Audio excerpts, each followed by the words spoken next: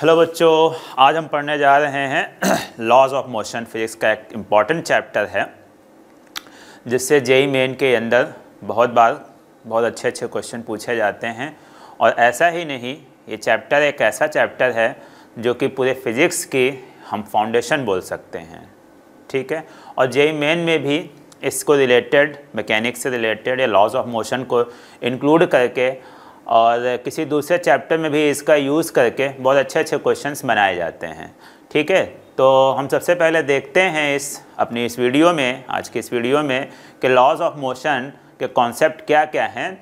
और हम ये पढ़ेंगे लॉज ऑफ़ मोशन के concept through previous year questions कि ये कॉन्सेप्ट कैसे कैसे इसमें लगाए जाते हैं क्वेश्चंस को करने के लिए। ठीक है बच्चों? तो चलो हम सबसे पहले प्रीवियस ईयर में 2019 के क्वेश्चंस लेते हैं और देखते हैं इनमें लॉज ऑफ़ मोशन के कॉन्सेप्ट कैसे कैसे लगाए गए हैं। ठीक है ना?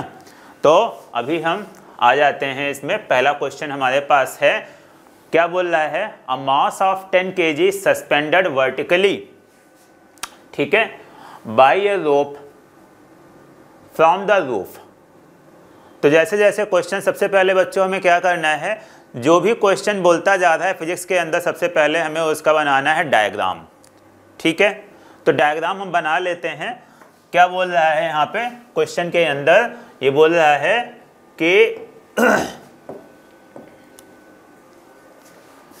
एक मास है 10 के का, जिसको सीलिंग से हैंग किया गया है। ये हम देख लेते हैं यहाँ पे। इस मास को ऐसे क्या कर दिया गया? हैंग कर दिया गया। कितना है? 10 के है। अब इसमें क्या लग रहा होगा? सबसे पहले यहाँ पे देख लेते हैं कि इस मास के ऊपर वेट लग रहा होगा इसका कितना? 10 जी। ठीक? तो ये 10 जी का वेट लगेगा नीचे की ओर। और, और ऊपर क्या लगेगी बच्चों? टेंशन लगेगा। टेंशन का फोर्स लगता है यहाँ पे टी। ठीक? फिर क्या बोलता है? फिर देखते हैं आगे। तो इस तरीके से हमारे पास ये क्या रहता है, ये ब्लॉक इस समय इस कंडीशन में ये दो फोर्सेस से क्या है इक्विलिब्रियम में है। इक्विलिब्रियम का बच्चों मतलब क्या होता है? इक्विलिब्रियम का मतलब ये होता है कि वो कंडीशन किसी भी ऑब्जेक्ट की या किसी भी सिस्टम की, जिसमें ऑब्जेक्ट या सिस्टम के ऊपर कोई भी फोर्स ना लग रहा हो। नेट फोर्स ज़ीरो हो। ठीक है ना? तो यहाँ पे हमारे पास नेट फोर्स अभी क्या है? ज़ीरो है। तो अब ये क्या बोल रहा है कि when a horizontal force is applied on the rope at the same some point the rope deviated at an angle of 45 degree at the roof point ठीक तो ये बोल रहा है यहाँ पे कोई हमने क्या किया कोई एक फोर्स लगा दिया हॉर्जेंटल फोर्स है सपोज़ कर लेते ये हॉर्जेंटल फोर्स कितना है F है ठीक is applied on the rope at some point The rope deviated at an angle of 45 degree at the roof point. तो अब, अगर हम किसी भी बॉडी के ऊपर फोर्स लगाएँगे, खींचेंगे, अगर हम ऐसे खींच रहे हैं तो क्या हो जाएगा? ये रोप है तो रोप क्या हो जाएगा? रोप डिविएट हो जाएगी, थोड़ी सी स्लैंट हो जाएगी, ठीक है? तिरछा हो जाएगी, ठीक? तो अब देखते हैं, ये यहाँ पे इसका जो नेक्स्ट फ्री बॉडी डायग्राम बनता है, ये फोर्स लगाने पे, वो देखते हैं कैसा बनता है। ये हमारे पास आ जाता है। ये कुछ ऐसे बन जाएगा। ठीक, यहाँ से ये आ गया और यहाँ पे हमारे पास आ जाता है क्या? ब्लॉक आ जाता है। ठीक, और ये हमारे पास इस तरीके से ये क्या हो जाएगा? ये फोर्स लगा था F ठीक है बच्चों, ये फोर्स लगा था। यहाँ पे अगेन हमारे पास क्या आ जाएगा? यहाँ पे अगेन हमारे पास आ जाता है ये आ जाएगा क्या? एम आ जाएगा। ठीक है? तो यहाँ पे हमारे पास आ जाएगा एम तो और ये हमारे पास क्या हो जाएगा? ये एक टेंशन का फोर्स हो जाएगा। ठीक? ये स्ट्रिंग थी हमारे पास। स्ट्रिंग क्या थी? स्ट्रिंग हमारी ये थी। ये। ये हमारे पास ऐसे अब ये स्ट्रिंग है। ये स्ट्रिंग है। ठीक? तो यहाँ इस स्ट्रिंग में क्या हो जाएगा? टेंशन का फोर्स हो जाएगा। ठीक है ना? इधर हमारे पास कौन सा फोर्स लगा है? एफ़ लगा है। ठीक? वो हॉर्जेंटल फोर्स जिसने क्या किया है इसको, और ये एंगल क्या अकॉर्डिंग टू द क्वेश्चन ये एंगल हमारे पास कितना है? 45 डिग्री का एंगल है। ठीक है ना? तो अब इसने पूछा है क्या, ये यहाँ पे फोर्स कितना लगेगा? इस डायरेक्शन में, इस डायरेक्शन में फोर्स हमारे पास लगता है इसके वेट के equal that is ten g ठीक? समझ में बात आ गई? तो यहाँ पे ये हम देखेंगे तो ये तीन फोर्सेस लग रहे हैं, ठीक है ना? तो तीन फोर्सेस में अभी हमें निकालना है if the suspended mass is at equilibrium the magnitude of the force applied is take g is equal to ten हमें निकालना है एफ़ की वैल्यू ठीक? तो देखते हैं एफ़ की वैल्यू कैसे निकालेंगे। अब इक्विलिब्रियम के लिए बच्चों, यहाँ पे क्या होना चाहिए? मैंने बताया था कि इक्विलिब्रियम में बॉडी के ऊपर नेट फोर्स जो होता है, वो क्या होता है? ज़ीरो होता है, ठीक है ना? तो नेट फोर्स ज़ीरो होने के लिए हॉजेंटल एंड वर्टिकल डायरेक्शन में जितने भी फोर्सेस हैं, उनका सम ज़ीरो होना चाहिए। तो हम क्या कर लेते हैं? सारे फोर्सेस को अपने हॉजेंटल एंड वर्टिकल डायरेक्शन में रिजॉल्व कर लेते हैं। तो रिजॉल्व करेंगे, यहाँ पे क्या आ जाएगा? ये हमारे पास आ जाता है। इसको हम रिजॉल्व करेंगे तो ये हमारे पास आ जाएगा टेंशन को तो ये आ जाएगा टी यहाँ पे ये आ जाएगा क्या? ये एंगल 45 तो ये एंगल भी 45 ये हमारे पास आ जाता है टी कॉस 45 और ये वाला क्या आ जाएगा फोर्स ये वाला फोर्स आ जाएगा टी साइन 45 आ जाएगा। ठीक है बच्चों? तो यहाँ से अब हमें निकालना है क्या? वर्टिकल डायरेक्शन के सारे फोर्सेस का सम क्या हो जाएगा? ज़ीरो हो जाएगा। तो सम क्या आ जाएगा? हमारे पास वर्टिकल डायरेक्शन में अगर करेंगे तो क्या आ जाएगा? T cos 45 degree minus ten g is equal to क्या हो जाएगा? ये ज़ीरो हो जाएगा। ठीक? माइनस क्यों लगाया? माइनस इसलिए लगाया क्योंकि फोर्स अपोजिट डायरेक्शन में था। वो ऊपर वाला फोर्स अपवर्ड की डायरेक्शन में था। हमें पता है कि वेक्टर ये फोर्स क्या है? एक वेक्टर क्वांटिटी है तो वेक्टर सम में हम सारी की सारी फ़िज़िकल क्वांटिटीज क्या सेम डायरेक्शन में रख के ही ऐड या सब्ट्रैक्ट करते हैं। ठीक है? तो ये अपोजिट डायरेक्शन में था, इसलिए हम ऐड हमें करना है तो अपोजिट डायरेक्शन में हमने कर लिया तो क्या आ गया? T cos forty five minus ten g is equal to zero ठीक? तो यहाँ से हमारे पास पहले हमने क्या निकाल लिया? T upon root two is equal to क्या आ जाता है? टेन जी आ जाता है। जी की वैल्यू टेन रखेंगे तो ये क्या आ जाएगा? हंड्रेड आ जाएगा। तो टेंशन हमारे पास कितनी आ गई? हंड्रेड रूट टू न्यूटन अच्छा यहाँ से इस क्वेश्चन में टेंशन नहीं पूछा था, लेकिन अगर टेंशन पूछा जाता तो वो भी हम यहाँ से निकाल सकते थे, ठीक है ना? तो अब टेंशन निकाल ली, अब हमें क्या निकालना है? अब हमें निकालना है ये एफ़ तो यहाँ से अब हॉजेंटल डायरेक्शन में फोर्स बैलेंस करते हैं तो मैं यहाँ पे लिख लेता हूँ कि balancing force in horizontal direction. तो हॉरिजॉन्टल डायरेक्शन में अगर हम फोर्स बैलेंस करेंगे तो क्या आ जाएगा? F minus T sine 45 degree is equal to zero तो f इज़ इक्वल टू हमारे पास क्या आ जाता है? F इज़ इक्वल टू आ जाता है t साइन 45 डिग्री तो ये हमारे पास आ जाता है t की वैल्यू हमने निकाल रखी है, क्या है? 100 रूट टू है और साइन 45 डिग्री की value again one upon root two root two cancel out हो जाएगा हो जाएगा हमारे पास क्या? 100 न्यूटन आ जाएगा। ठीक? तो ये हमने निकाल लिया फोर्स तो इस ये हम देखते हैं ऑप्शन कौन सा सही है? ये ऑप्शन हमारे पास सी आ जाता है। ठीक है? तो इसमें ऑप्शन सी इज़ करेक्ट ठीक है बच्चों? तो आपने देखा है इसमें मैंने कैसे लॉज ऑफ़ मोशन को अप्लाई किया है। ठीक है? इक्विलिब्रियम केस के लिए। ठीक? तो याद रखो कि इक्विलिब्रियम का अगर केस है, ठीक है? तो उसमें क्या हो जाएगा? हमारे सारे जो फोर्सेस हैं, किस डायरेक्शन में? तीनों डायरेक्शन में अगर हम बात कर रहे हैं, हमारे पास थ्री कोऑर्डिनेट सिस्टम अगर है, ठीक है? तो सबका sum sigma F x is equal to zero sigma F y is equal to zero and sigma F z is equal to zero ठीक? तो हर एक डायरेक्शन में फोर्सेस का वेक्टर सम क्या हो जाएगा? ज़ीरो हो जाएगा। ठीक है बच्चों? तो ये ध्यान रखना है, ये इक्विलिब्रियम का एक बहुत अच्छा क्वेश्चन था। ठीक है ना? अब हम देखते हैं नेक्स्ट क्वेश्चन ओके हमारे पास तो नेक्स्ट क्वेश्चन ये है कि बोल रहा है a particle of mass m is moving in a straight line with momentum p ठीक है? तो यहाँ पे बोला starting at time t is equal to zero a force F is to k t act in the same direction ठीक? जो force बोल रहा है के टी तो सबसे पहले हम यहाँ पे क्या करते हैं? मैंने बताया था, जो भी क्वेश्चन बोलता जाए, उसे पहले क्या करो? ड्रॉ करते चले जाओ। ठीक है ना? अगर डायग्राम आपका सही सही बन जाता है तो ये लगा लीजिए कि 50 परसेंट क्वेश्चन आपका तो वहीं पे हो गया। ठीक है ना? सबसे पहले हमें क्या बनाना है? एफ़ बनाना है फ्री बॉडी डायग्राम बनाना है। ठीक है ना? फ्री बॉडी डायग्राम में क्या हम सारे के सारे बॉडी बनाते हैं, उसके ऊपर जितने भी फोर्सेस लग रहे हैं, सारे के सारे फोर्सेस को हम शो करते हैं वहाँ पे। ठीक है ना? तो हम यहाँ पे सबसे पहले डायग्राम बनाते हैं इस क्वेश्चन का। ठीक है? तो डायग्राम में हमारे पास क्या था? ये हमारे पास कोई एक बॉडी थी।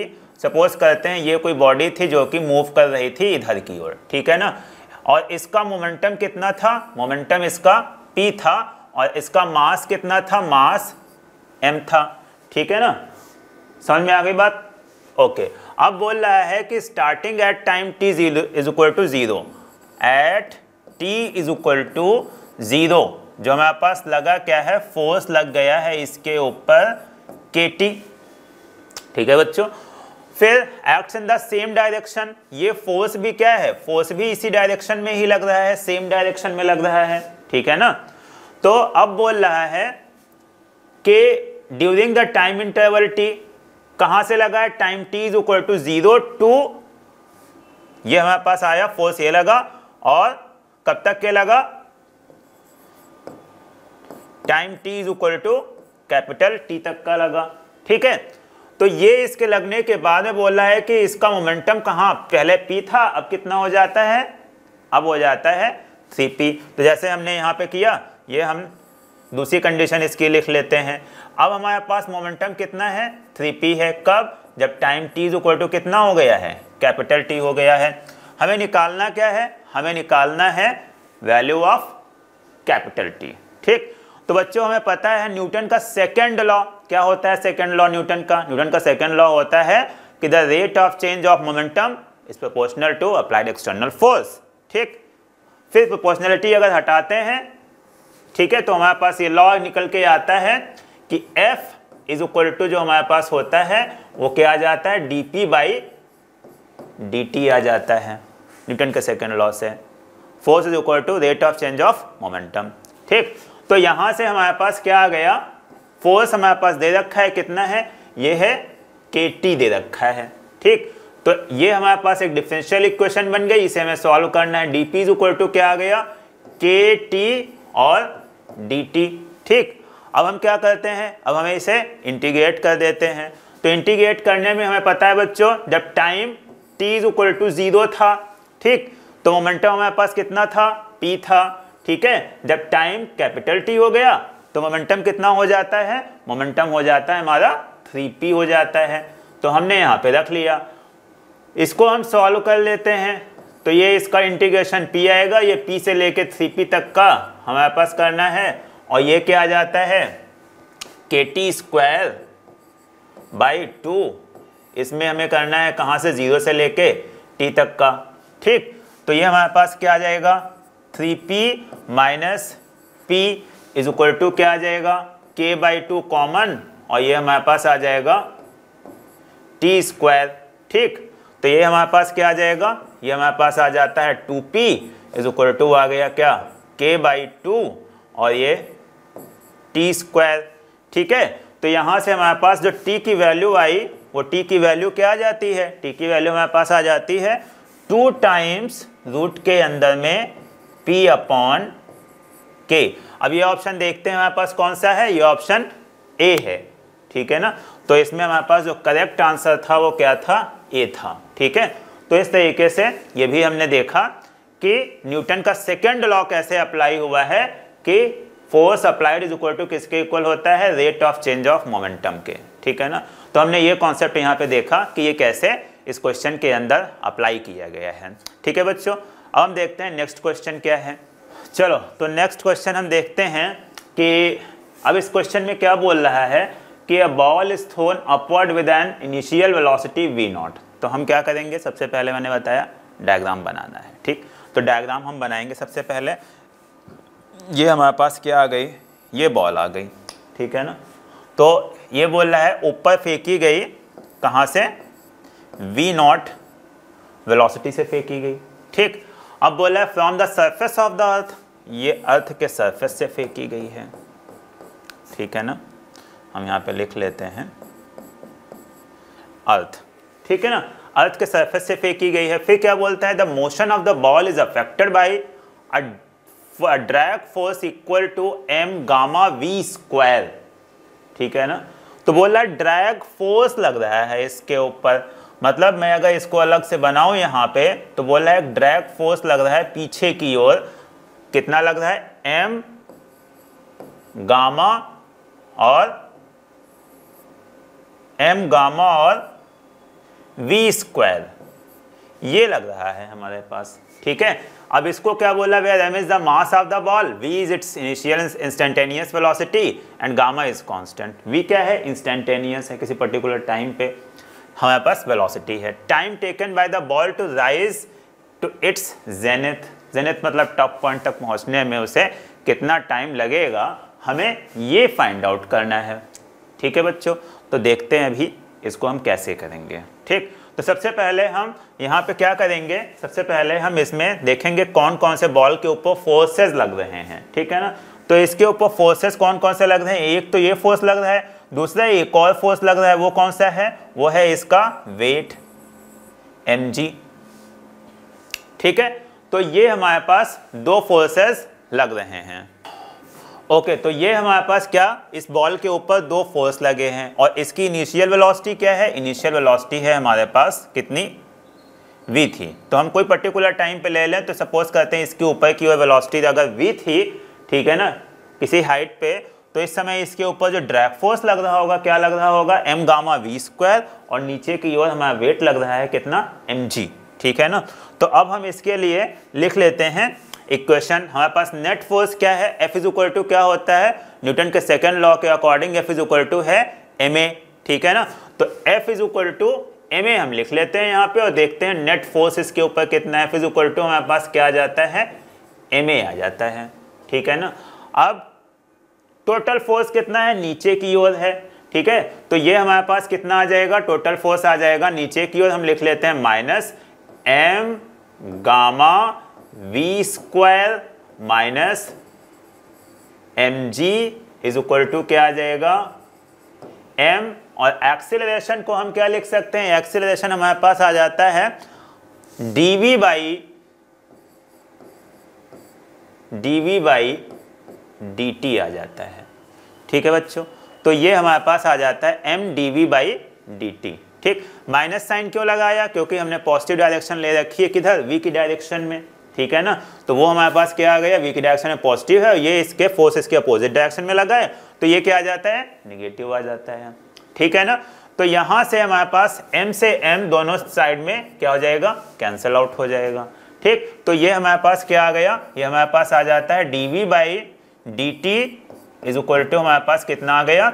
ये आ जाता है minus gamma V square and minus G ठीक? तो यहाँ से अगर हम देखें तो ये हमारे पास क्या आ जाएगा? डी वी बाई ये हमारे पास आ जाता है आ, gamma V square plus G is equal to क्या आ जाएगा? ये आ जाएगा minus D T D V by gamma V square plus G ठीक है बच्चों? क्या है? D V by gamma V square plus G is equal to minus D T ठीक। अब हमें क्या करना है? इसे इंटीग्रेट करना है। तो इंटीग्रेट कैसे करेंगे? इसे हमें इंटीग्रेट करना है। कहाँ से कहाँ तक का? टाइम जब T is equal to zero था तो इसकी वेलोसिटी इनिशियल वेलोसिटी क्या थी? वी नॉट थी। ठीक। वी नॉट थी। और जब हमें क्या निकालना है? टाइम ऊपर तक का पहुँचने का, ठीक है? तो उसे हम क्या ले लेते हैं? सपोज़ करते हैं कैपिटल टी ले लेते हैं, ठीक है ना? जेनित तक पहुँचने का। और उस समय हमारे पास वेलोसिटी क्या रही होगी? ज़ीरो रही होगी, क्योंकि टॉप पॉइंट पे वेलोसिटी क्या होती है? ज़ीरो होती है वर्टिकल वेलोसिटी ठीक है ना? तो ये अब हमें इस इसका इंटीग्रेशन फाइंड आउट करना है। तो इसका इंटीग्रेशन क्या आ जाएगा? इसको हम करेंगे तो ये क्या आ जाएगा? ये यहाँ से आ जाता है माइनस में टी आ जाएगा, ठीक? तो अब इस इंटीग्रेशन को देखते हैं कैसे सॉल्व करना है। तो यहाँ पे हम नेक्स्ट पेज पे आ जाते हैं अभी। T is equal to minus और integration v not to zero और D V upon gamma V square plus G ठीक है बच्चों? तो ये हमारे पास आ जाता है इज़ इक्वल टू क्या आ जाएगा? यहाँ से माइनस। अब इसका भी इंटीग्रेशन करना है। इसको इंटीग्रेट करने के लिए हम क्या कर लेते हैं? गामा को हम बाहर ले लेते हैं। और ये हमारे पास आ गया V not to zero D V upon ये क्या आ जाएगा? V square plus G by gamma. ठीक, ये हमारे पास आ गया। इसको हम लिख सकते हैं कैसे? Gamma integration V not to zero D V upon okay तो ये हमारे पास आ जाता है और इसका इंटीग्रेशन क्या होता है बच्चों? इसका इंटीग्रेशन हमें पता है कि वन बाई ए ये किस, कौन सा फॉर्म है? ये स्टैंडर्ड फॉर्म है integration D X upon X square plus A square वाला, ठीक? तो इसका क्या होता है integration one upon A tan inverse X by A ठीक है? तो ये क्या आ जाएगा? ये आगे इसको लिखेंगे is equal to minus one upon gamma ठीक है? और ये हमारे पास आ जाता है वन बाई ए तो ए की जगह पे क्या है? रूट के अंदर जी अपॉन गामा है, ठीक है?